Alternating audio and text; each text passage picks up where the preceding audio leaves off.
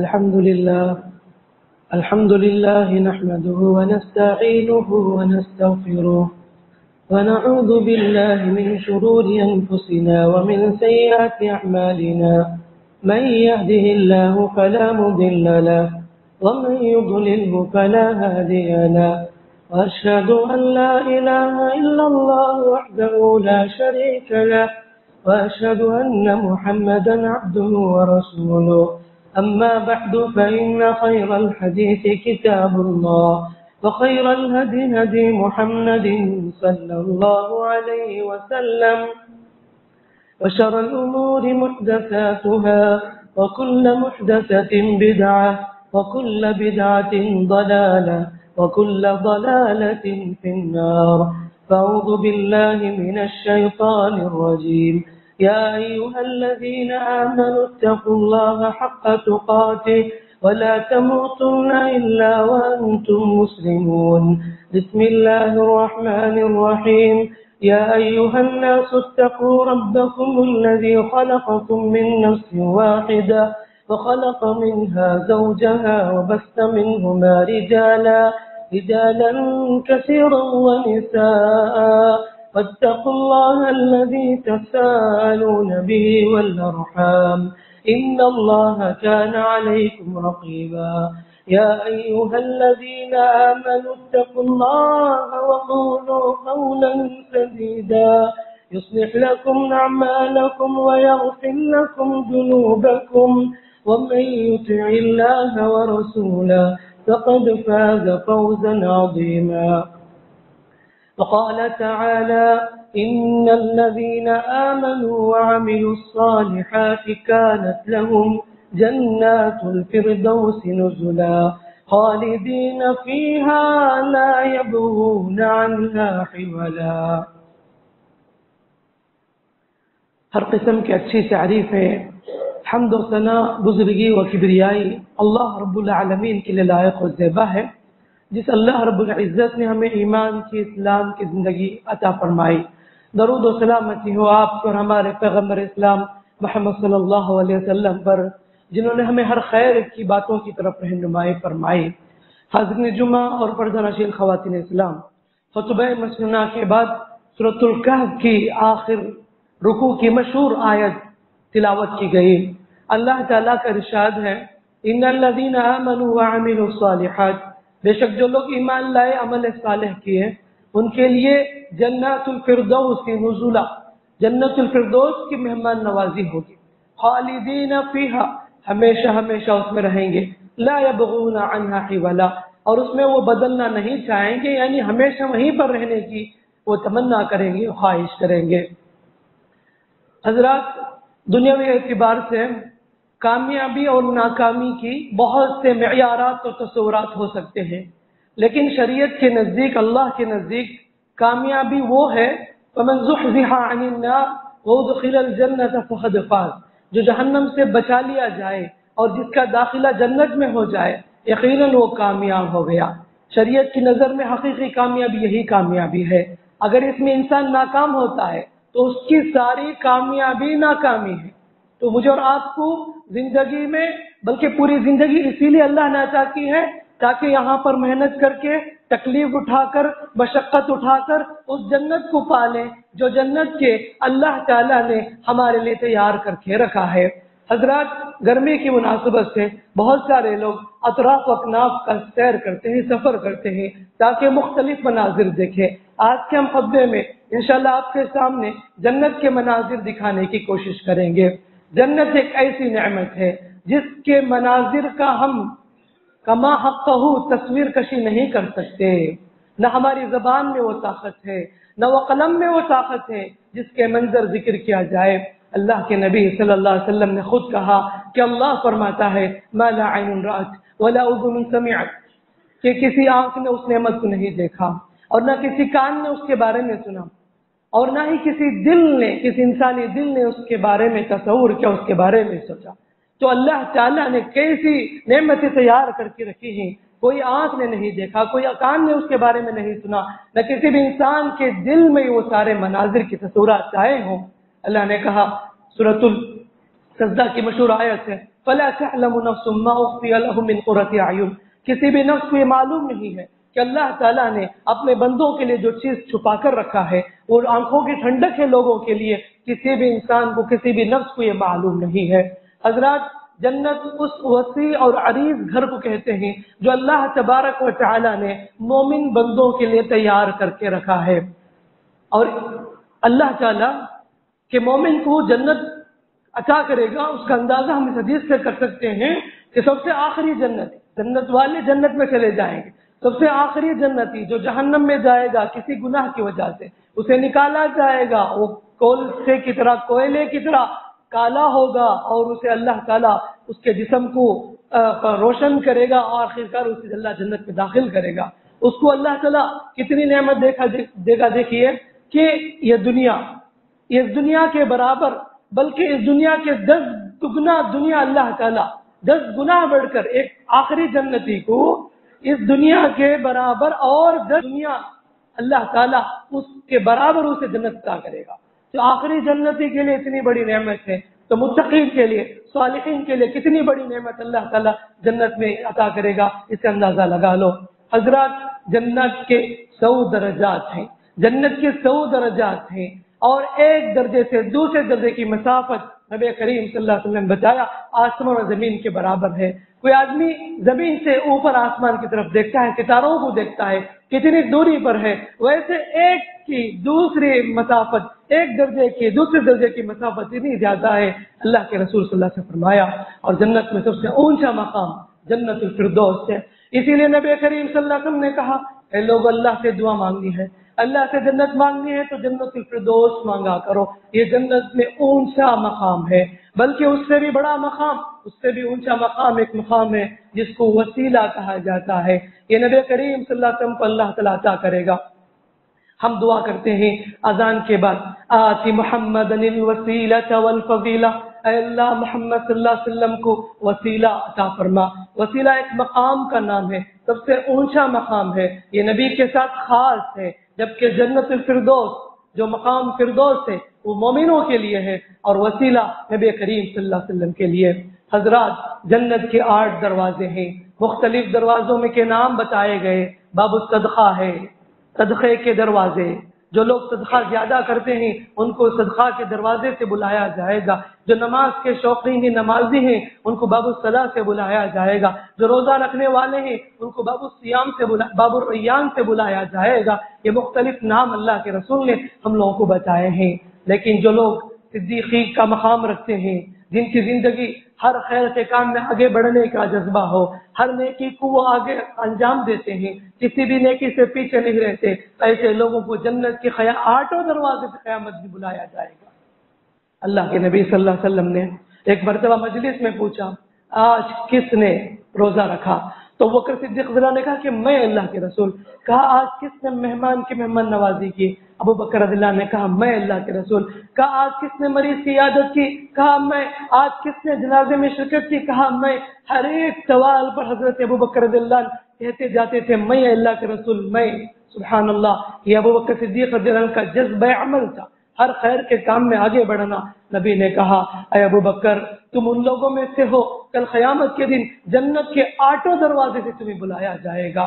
ابو بکر صدیق رضی اللہ عنہ کا مقام ہے کہ دنیا میں ان کو جنت کی بشارت بشارت کے ساتھ ساتھ جنت کے آٹھوں دروازے سے انہیں بلایا جائے گا، کیونکہ ان کے اندر بہت ساری خیر کی چیزیں تھی جب اللہ کے پاس کھڑے ہوں گے حشر کے میدان میں، جنت میں داخلہ دلایا جائے گا۔ سب سے پہلے جو جنت میں داخل ہوں گے، وہ کون ہوں گے؟ ہمارے نبی محمد صلی اللہ علیہ وسلم ہوں گے۔ نبی کریم صلی اللہ فرماتے ہیں، میں جنت کے دروازے کے پاس آؤں گا، وہاں پر دروازہ کرکٹ آؤں گا، اندر سے آواز آئے گی، اس کا نام رضوان ہوگا۔ کہے گا، کون ہے؟ تو میں کہوں گا، محمد. تو اس کے بعد دروازہ کھولا جائے گا۔ وہ کہے گا، رضوان، جنت کا فرشتہ، مجھے اس بات کا حکم دیا گیا ہے، آپ کے لیے ہی دروازہ کھولو آپ کے لیے ہی پہلے دروازہ کھولو سب سے پہلے جنت میں داخل ہونے والے ہمارے نبی محمد صلی اللہ علیہ وسلم ہوں گے۔ اور جنت میں جانے کے بعد لوگوں کو، جنتیوں کو جو مہمان نوازی اس سے پہلے کی جائے گی، وہ مچھلی کے ذریعے سے کی جائے گی۔ مچھلی کے ذریعے سے کی جائے گی۔ اس کے بعد بیل کا گوشت پیش کیا جائے گا جنتیوں کے لیے مہمان نوازی کے طور پر۔ لیکن قرآن نے کہا، وفیہا ما تشتہی الانفس وفیہا ما تشتہی الانفس جو نفس تمہاری خواہش کرے گی، جو تمنا کرے گی وہ سب کچھ تم کھا سکتے ہو، ہر قسم کی نعمتیں۔ لیکن حدیثوں سے پتا چلتا ہے، مچھلی کے ذریعے سب سے پہلے اللہ تعالیٰ مہمان نوازی کرے گا۔ حضرات، دنیا میں اللہ نے بہت ساری چیزیں ہم پر حرام کر دی ہیں۔ جو لوگ اللہ تعالیٰ کی حرام کردہ چیزوں سے بچتے رہے، اللہ ان کو اعلیٰ سے اعلیٰ اچھی جنت میں عطا کرے گا۔ اعلیٰ معیار کی چیز عطا کرے گا۔ شراب حرام ہے۔ ہم کو پینا نہیں چاہیے۔ اللہ نے حرام کر دیا۔ جو لوگ شراب سے رکے رہے، قیامت جنت میں اللہ ان کو شراب پلائے گا۔ رحیق مختوم یعنی سیل لگائے ہوئے شراب اللہ تعالیٰ انہیں پلائے گا۔ اسی لیے کہتے ہیں، جو لوگ جہنم میں جانے کے بعد پھر جنت میں آئیں گے، دنیا میں شراب پیتے تھے، ان کو جنت میں آنے کے بعد بھی جنت کی شراب نصیب نہیں ہوگی۔ مختلف نہریں ہیں وہاں پر پیہا انہار مما ان غیر اللہ نے کہا کہ مختلف نہریں پانی کی نہریں ہیں، دودھ کے نہریں ہیں، شراب کے نہریں ہیں، شہد کے نہریں ہیں، مختلف قسم کی نعمتیں اللہ تبارک و تعالیٰ نے جنتیوں کے لیے تیار کر کے رکھا ہے۔ مردوں کے لیے دنیا میں سونا حرام ہے، گولڈ حرام ہے، لیکن جنت میں حلال کیا جائے گا۔ اللہ تعالیٰ کہتا ہے کہ ان کو من ذهب کہ جنت میں ان کو سونے پہنائے جائیں گے، سونے کے کنگن پہنائے جائیں گے، جبکہ مردوں کے لیے دنیا میں سونا حرام ہے، لیکن اللہ تعالیٰ صبر کرنے کی وجہ سے جنت میں سونا عطا کرے گا۔ مردوں کے لیے ریشم حرام ہے اس دنیا میں، لیکن اللہ تعالیٰ جنت میں عطا کرے گا۔ وہ لباس ہوں پیہا حریر وہ ہوں پیہا حریر اللہ کہتا ہے، ان کے لباس ریشم کے لباس ہوں گے۔ یہ ساری نعمتیں اللہ تبارک و تعالیٰ ان مومن بندوں کے حق میں عطا کرے گا جو دنیا میں صبر کرتے رہے، اللہ تعالیٰ کی منع کردہ چیزوں سے رکتے رہے، ان کے بدلے میں اللہ تعالیٰ یہ عظیم نعمت، یہ عظیم چیز ان کو عطا کرے گا۔ اور درخت کے بارے میں نبی نے کہا، جنت میں اتنے بڑے بڑے درخت ہوں گے، اگر تیز رفتار سوار گھوڑے میں سوار ہو کے اتنی تیزی سے جائے، سو سال کی مسافت بھی ہو جائے، کیوں نہ ہو؟ تب بھی وہ سایہ ختم نہ ہوگا، اتنا لمبا سایہ ہوگا۔ نبی کریم صلی اللہ علیہ وسلم نے فرمایا اور جو لوگ جنت میں جاتے ہیں، وہ اللہ کے رسول نے کہا کہ ان کی عمر تینتیس سال کی ہوگی۔ نہ بوڑھے ہوں گے، نہ بچے ہوں گے، بلکہ جنت میں اللہ داخلہ کرائے گا جبکہ ان کی عمر تینتیس سال، تھرٹی تھری ایئر کی عمر ہوگی۔ جوان تھرٹی تیس پر تین سال کے جوان بنا کر اللہ تعالیٰ ہر ایک کو داخل کرے گا۔ خواہ مرد ہو یا عورت ہو، سب کو اسی عمر میں اللہ تبارک و تعالیٰ داخل کرے گا۔ اور وہاں پر ایک عظیم نعمت حور عین کی شکل میں اللہ تعالیٰ عطا کرے گا۔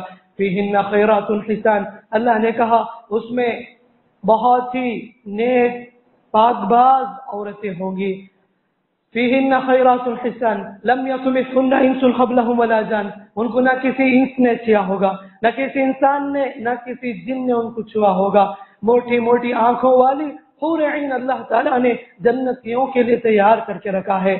فیہن قاصرات الطرف اپنی نظروں کو نیچے جھکانے والی ہوں گی، وہ اتنی شرمیلی ہوں گی۔ اللہ کے رسول نے ان حورین کے بارے میں کہا، اتنا روشن چہرہ ہوگا، اگر ایک مرتبہ وہ دنیا میں جھانک کر دیکھ لے، تو پوری دنیا روشن ہو جائے گی۔ اتنی یعنی اللہ تعالیٰ اتنا روشن ان کا چہرہ بنایا ہوگا یہ صرف اور صرف اللہ تعالیٰ جنتیوں کے لیے تیار کر کے ہوگا۔ قرآن میں جگہ جگہ ان کا ذکر ہے۔ وحور نعیم کیا مثال لؤلؤ المکنون اللہ کہتا ہے کہ حور عین ہوں گے، موٹی موٹی آنکھوں والی ہوں گی عورتیں۔ المقنون ان کی مثالیں چھپے ہوئے موتی کی طرح ہوں گے۔ اللہ تعالیٰ نے اس کا ذکر کیا ہے۔ حضرات، اسی طریقے سے جنت میں بہت بہت بڑی نعمت جو عطا کی جائے گی، وہ رضا الہی ہے۔ اللہ تبارک و تعالیٰ جنتیوں کو جنت میں داخلہ جلانے کے بعد اللہ تعالیٰ کہے گا، اے جنتیوں حل رضی تم کیا تم راضی ہو؟ تو جنتی کہیں گے، اے اللہ، کیوں نہیں ہم راضی ہیں؟ تو نے ہم نے سب کچھ عطا کیا، ساری نعمت عطا کی، کیوں تم ہمیں، کیوں ہم تجھ سے راضی نہ ہوں گے؟ ہم بالکل راضی ہیں۔ اللہ تعالیٰ کہے گا، اے جنتیوں، میں ایک اور اعلان کرتا ہوں، سن لو، آج کے بعد میں کبھی تم سے ناراض نہیں ہوں گا آج کے بعد میں تم سے کبھی ناراض نہیں ہوں گا میں ہمیشہ تم سے راضی ہوں گا۔ یہ بہت بڑی نعمت اللہ تعالیٰ کی رضا رضامندی نصیب ہوگی۔ اور اس سے بھی بڑی نعمت جنتیوں کو نصیب ہوگی۔ وہ ہے دیدار الہی، اللہ تبارک و تعالیٰ کا دیدار۔ جنتی قیامت کے دن اصلی شکل میں اللہ تعالیٰ کا دیدار کریں گے۔ قرآن نے کہا للذین احسن الحسن و زیادہ ان لوگوں کے لیے نیکی ہے۔ للذین احسن الحسن و زیادہ جو لوگ خیر کے کام کرتے ہیں، ان کے لیے نیکی و زیادہ اور دیدار الہی بھی ہے۔ اللہ تعالیٰ کا دیدار۔ نبی کریم صلی اللہ علیہ وسلم فرمایا چودہویں رات کی چاند کو جس طرح تم دیکھتے ہو کوئی تکلیف نہیں ہوتی کوئی مشقت نہیں ہوتی اس کو دیکھنے میں۔ ویسے تم اللہ تعالیٰ کو اپنی شکل میں دیکھو گے۔ اللہ تعالیٰ اپنا حجاب ہٹا دے گا۔ اللہ تعالیٰ اپنا پردہ ہٹا دے گا۔ جنتی دیکھتے رہ جائیں گے، اللہ کو دیکھتے رہ جائیں گے۔ یہ بہت بہت بڑی نعمت ہوگی۔ ہر ایک مومن کی دل میں یہ خواہش ہوتی ہے، یہ تمنا ہوتی ہے کہ اللہ تبارک و تعالیٰ کو اصلی شکل میں دیکھے۔ اللہ تبارک و تعالیٰ کا دیدار کرے، یہی تمنا، یہی خواہش موسا علیہ السلام نے بھی کوہ طور پر کیا تھا۔ جب اللہ سے گفتگو کیے، کہنے لگے، یا ربی ربی ارینی انظر الیک۔ اللہ، میں تجھے دیکھنا چاہتا ہوں۔ اللہ نے کہا، لن ترانی، اے موسا ہرگز تو نہیں دیکھ سکتا۔ اس دنیا میں کوئی اللہ کو ہرگز نہیں دیکھ سکتا۔ اللہ تعالیٰ کا دیدار نہیں کر سکتا۔ لیکن قیامت کے دن جنتیوں کے لیے اللہ تعالیٰ کا دیدار نصیب ہوگا۔ ہم دعا کرتے ہیں رب العالمین سے، اللہ تعالیٰ یہ عظیم نعمت میں عطا فرمائے۔ اللہ تعالیٰ ہم سب کو جنت فردوس کے اعلیٰ مقام پر فائز فرمائے۔ حضرات، دنیا میں ہماری خواہش ہوتی ہے کہ جہاں ہم اپنے فیملی کے ساتھ خوش و خرم ہوتے ہیں، اسی طریقے سے اگر ہماری خواہش ہوتی ہے کہ جنت میں بھی سارے فیملی کے لوگ خوشی بخوشی ایک ساتھ رہے اللہ تعالیٰ وعدہ کرتا ہے کہ ایمان والے اگر ماں باپ ایمان لائے، ان کے ساتھ ان کی اولاد بھی ایمان لاتی ہے۔ اور اللہ تعالیٰ کی اطاعت کرتے ہوئے چلتی ہے۔ ہمارا وعدہ ہے، جیسے دنیا میں تمہیں گھر میں ماں باپ بچے سب رہتے تھے، ویسے ہم جنت میں بھی رکھیں گے۔ ہر ایک ماں باپ کی خواہش ہوتی ہے کہ ان کی اولاد کو جنت ملے۔ ہر ایک اولاد کی خواہش ہوتی ہے کہ ان کے ماں باپ کو جنت ملے۔ یہ کب ہوگا؟ جبکہ ایمان مضبوطی کے ساتھ عمل صالح میں آگے بڑھے۔ قرآن کہتا ہے والذین آمنوا واتبعتم ذریتهم بإیمان جو لوگ ایمان لائے اور ان کے بعد ان کی اولاد بھی ایمان پر قائم رہتی ہے۔ الحقنا بهم ذریتهم ہم ان کو جنت میں ملا دیں گے، ان کو فیملی کے ساتھ۔ ورنہ اللہ کے پاس یہ نصب، یہ خاندان، یہ مال اور دولت کا کوئی اعتبار نہیں۔ ہر ایک کو اس کا عمل کام آئے گا۔ کوئی اس لیے جنت میں داخل نہیں ہوگا کہ اس کا باپ نیک ہے، اولاد کی جنت میں داخلہ مل جائے، ایسا نہیں ہو سکتا۔ کسی اولاد کو اس لیے جنت نہیں نصیب ہو سکتی، اس کا باپ بڑا متقی ہے۔ ہر ایک کو اس کا عمل کام آئے گا۔ وہ کل آتی ہی عمل قیامتی پردہ ہر ایک کو اکیلے اکیلے اللہ کے پاس حاضری دینی ہے۔ اسی لیے کہتے ہیں قوان کو سکوں اپنے آپ کو بھی جہنم سے بچاؤ، اپنے فیملی کو بھی جہنم سے بچاؤ۔ ورنہ وہ دن دیکھنے کو نہ ملے۔ اللہ نہ کرے، اللہ نہ کرے۔ کل قیامت دن ماں باپ جنت کو جائیں اور ماں باپ کیا کے سامنے ان کے اولاد جہنم کو جائے۔ ایسا دیکھنے کو نہ ملے، اللہ تعالیٰ نہ کرے، کل قیامت دن اولاد جنت کو جائے، ان کے ماں باپ جہنم کو جائے۔ اسی لیے فکر کرنے کی ضرورت ہے، اپنے دل میں خواہش کرنے کی ضرورت ہے، دعا کرنے کی ضرورت ہے۔ اے اللہ، جیسے ہم دنیا میں ایک ساتھ ایک ساتھ اٹھتے بیٹھتے ہیں، کھاتے پیتے ہیں، ایک گھر کے اندر، اے اللہ، اسی طریقے سے جنت میں بھی تو ہمیں ایسے ہی جمع کر کے رکھ دے۔ ہر ایک کو دعا کرنے کی ضرورت ہے۔ اور جنت میں اللہ تعالیٰ خدمت کے لیے چھوٹے چھوٹے بچوں کو مقرر کرے گا۔ وہ علیہم قرآن کہتا ہے کہ چھوٹے چھوٹے بچے ہوں گے، ہمیشہ رہنے والے وہ یعنی جنتیوں کو شراب پلائیں گے، پانی پلائیں گے، مختلف قسم کی خدمات انجام دیں گے۔ اللہ رب العالمین نے اس کو واضح طور پر کیا۔ حضرات، مجموعی لحاظ سے اگر دیکھا جائے تو جنت میں داخل ہونے والوں کی تین قسمیں ہوں گی۔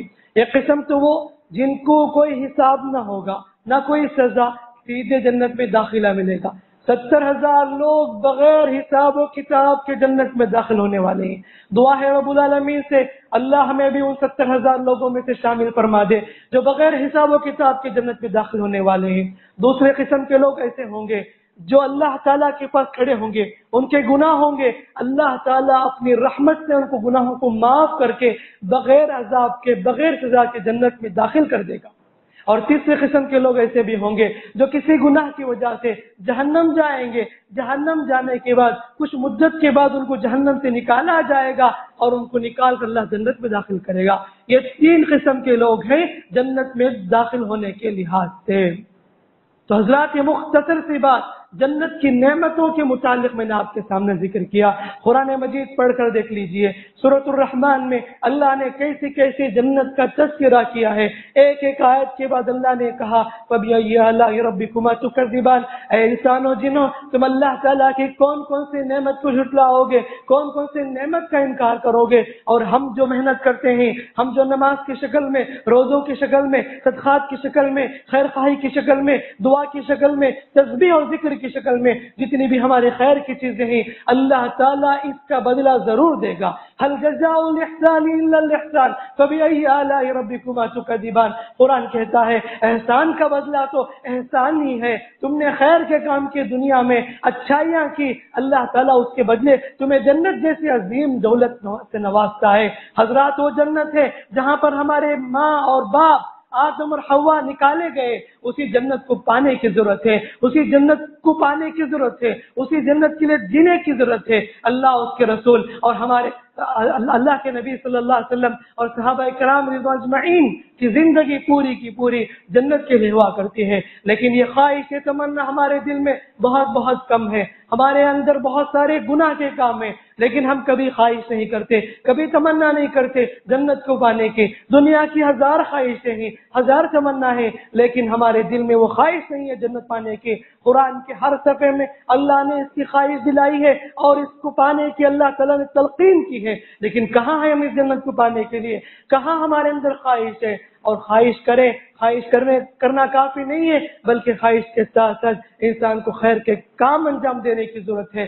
دعا ہے رب العالمین سے۔ اللہ مجھے اور آپ کو اس جنت میں اللہ ہمیں آپ کو داخل فرمائے، جو جنت کے اللہ نے مستقیم کے لیے تیار کر کے رکھا ہے۔ اللہ تعالیٰ قیام دن ہمارے گناہوں کو معاف فرمائے۔ اللہ تعالیٰ جیسے ہم فیملی کے ساتھ، مسلم معاشرے میں ایمان کے ساتھ ایمان کی زندگی بسر کرتے دنیا میں، اللہ تعالیٰ ویسے ہم لوگوں کو جنت میں جمع فرمائے۔ آمین۔ بارک اللہ بارک اللہ لنا ولکم فی القرآن الحکیم ونفعنا ویاکم بالآیات وذکر الحکیم انہو تعالی جواد کریم۔ مالک مغفر حمر من حلیم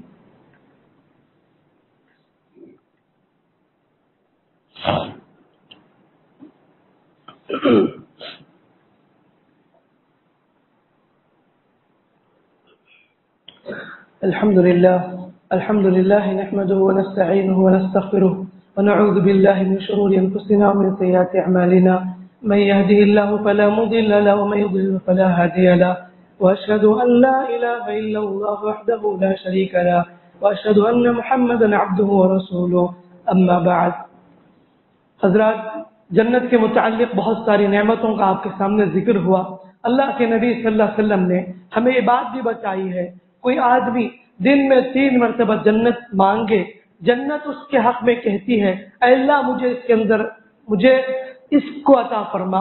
کوئی آدمی یہ دعا کرے تین مرتبہ ایک دن میں اللہ انی اسلک الجنہ اللہ انی اسلک الجنہ اللہ انی اسلک الجنہ۔ اگر یہ دعا کرتا ہے، جنت کہتی ہے، اے اللہ اس کو میرے اندر داخل کر دے۔ کوئی آدمی تین مرتبہ جہنم سے پناہ طلب کرے اللہ اجرنی من النار اللہ اجرنی من النار اللہ اجرنی من النار، تو جہنم کہتی ہے، اے اللہ، اس آدمی کو مجھ سے دور رکھ، اے اللہ، اس آدمی کو مجھ سے دور رکھ۔ تو لہٰذا مجھے اور آپ کو ہر دن کم از کم تین مرتبہ یہ ضرور پڑھنا چاہیے۔ اللہم انی اللہ الجنہ اللہ اجرنی من النار، یہ نبی کریم صلی اللہ علیہ وسلم کی تعلیم ہے۔ حضرات، رمضان بہت بہت قریب ہے۔ یوں سمجھیے کہ دس بارہ دن کے اندر ہم رمضان کو انشاءاللہ پالیں گے۔ اللہ تعالیٰ کی توفیق سے اللہ کے فضل سے۔ یہ رمضان کا مہینہ اتنا سنہرا موقع ہے، اتنا عظیم قیمتی مہینہ ہے جو جنت دلانے کے لیے آتا ہے، جنت کے ٹکٹ دلانے کے لیے آتا ہے۔ اسی لیے مجھے اور آپ کو پہلے ہی سے تیار ہو جانا چاہیے تاکہ ہم اپنے گناہوں کی معافی مانگ لیں اللہ سے۔ جہنم سے چھٹکارا پا کر جنت میں ہمارا داخلہ ہو جائے، یہ ابھی سے ہر ایک کے دل میں خواہش ہونے کی ضرورت ہے۔ کیونکہ رمضان کو پانا کوئی معمولی بات نہیں ہے، بہت بہت عظیم نعمت ہے۔ اللہ تعالیٰ جسے چاہے رمضان کا مہینہ عطا کرتا ہے، جسے چاہے اللہ تعالیٰ رمضان کے مہینے سے محروم رکھ دیتا ہے۔ اسی لیے جتنے بھی ہماری مصروفیات ہیں، جتنے بھی ہمارے ایکٹیویٹیز ہیں، رمضان سے پہلے اسے اپنے آپ کو مکمل کر لیں۔ ایسا نہ ہو کہ آپ کی پوری مصروفیات رمضان کے مہینے میں گزرے، آپ کے پرچیسنگ کے ہو یا جو بھی چیزیں ہو، جتنے آپ کے اوپر جو کام ہے اس بوجھ کو ابھی سے ہلکا کر لیں تاکہ وہ بوجھ آپ کو رمضان پر نہ پڑے، تاکہ ایک مہینہ کے لیے آپ اللہ تعالیٰ کو راضی کرنے والے بن جائے ایک ماہ کے لیے روزہ رکھنے والے بن جائے ایک مہینہ کے لیے قرآن مجید کی تلاوت کے ساتھ ساتھ اللہ تعالیٰ کے پاس دعا کرنے ہوئے بندے بن جائے یہ ابھی سے جو ہر ایک کو تیاری کرنے کی ضرورت ہے، ابھی سے رمضان کا استقبال کرنے کی ضرورت ہے۔ یقیناً اگر ایسے تصورات ابھی سے موجود ہوں، اللہ کی مدد سے انشاءاللہ اللہ کی توفیق سے رمضان کا بھرپور فائدہ اٹھائیں گے۔ رمضان کی فضیلت اور برکتوں سے آپ مالا مال کیے جائیں گے۔ دعا ہے رب العالمین سے۔ اللہ مجھے اور آپ کو کئی باتوں پر، سنی باتوں پر عمل کی توفیق توفیق عطا فرمائے۔ اللہ تعالیٰ ماہ مبارک اللہ ہمیں عطا فرمائے اور اس ماہ مبارک میں ہمیں مکمل طریقے سے روزہ رکھنے، قرآن کی تلاوت کرنے تحجد تراوی کا اہتمام کرنے کی اللہ توفیق عطا فرمائے۔ اور اللہ تعالیٰ ہم میں جو انتقال کر گئے ہیں، جو گزشتہ رمضان تک ہمارے ساتھ تھے، آج ہمارے درمیان وہ نہیں ہیں۔ اللہ ان کے مغفر فرمائے، اللہ ان کے درجات کو بلند فرمائے۔ اللہ ہمیں جب تک اس دنیا میں رکھے، ایمان کی حالت میں رکھے، اسلام کی حالت میں رکھے۔ آمین۔ بارك الله بارك الله لنا ولكم في القرآن الحكيم ونفعنا وإياكم بالآية الحكيم إن الله وملائكته يصلون على النبي يا أيها الذين آمنوا صلوا عليه وسلموا تسليما اللهم صل على محمد وعلى آل محمد كما صليت على إبراهيم وعلى آل إبراهيم إنك حميد مجيد اللهم بارك على محمد وعلى آل محمد كما باركت على إبراهيم وعلى آل إبراهيم إنك حميد مجيد ربنا آتنا في الدنيا حسنة وفي الآخرة حسنة وقنا عذاب النار ربنا ظلمنا أنفسنا وإن لم تغفر لنا وترحمنا لنكن من الخاسرين. اللهم إنا نسألك الهدى والتقى والعفاف والغنى. يا أرحم الراحمين يا أكرم الأكرمين يا أجود, يا أجود الأجودين. برحمتك يا أكرم الأكرمين. لا إله إلا أنت سبحانك. إنا كنا من الظالمين. ربنا ظلمنا أنفسنا وإن لم تغفر لنا وترحمنا لنكونن من الخاسرين. اللهم أعز الإسلام والمسلمين. اللهم أعز الإسلام والمسلمين. وأذل الشرك والمشركين. اللهم انصر من نصر دين محمد صلى الله عليه وسلم. واخذل من خذل دين محمد صلى الله عليه وسلم. اللهم انصر إخوان المسلمين في كل مكان. اللهم ارحم المسلمين والمستضعفين في كل مكان. برحمتك يا أكرم الأكرمين. توفنا مسلمين والحقنا بالصالحين. اللهم اغفر لحينا وميتنا وشاهدنا وغائبنا وصغيرنا وكبيرنا وذكرنا وأنثانا. اللهم من أحييته منا فأحيي على الإسلام ومن توفيته منا فتوفاه على الإيمان. اللهم اغفر لنا ولآبائنا وأمهاتنا وأزواجنا وذرياتنا وجميع إخواننا المسلمين يا أرحم الراحمين يا أكرم الأكرمين برحمتك وجودك وكرمك يا أكرم الأكرمين. اللهم اسقنا غيثا مغيثا مريئا مريئا نافعا غير الضار عاجلا غير آجل. اللهم اغثنا اللهم اغثنا اللهم اغثنا اللهم اغثنا اللهم اغثنا اللهم اغثنا اللهم نرجو رحمتك. ونخشى عذابك. يا حي يا قيوم برحمتك نستغيث برحمتك نستغيث برحمتك نستغيث. تقبل منا يا أرحم الراحمين. آمين. عباد الله رحمني رحمكم الله. إن الله يأمر بالعدل والإحسان وإيتاء ذي القربى وينهى عن الفحشاء والمنكر والبغي. يعظكم لعلكم تذكرون. واذكروا الله يذكركم وادعوه يستجب لكم. ولذكر الله تعالى أعلى وأجل وأتم وأكبر. الله يعلم ما تصنعون.